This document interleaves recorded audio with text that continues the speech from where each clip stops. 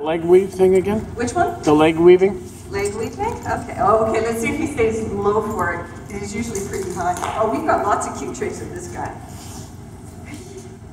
Uh, we'll do slightly.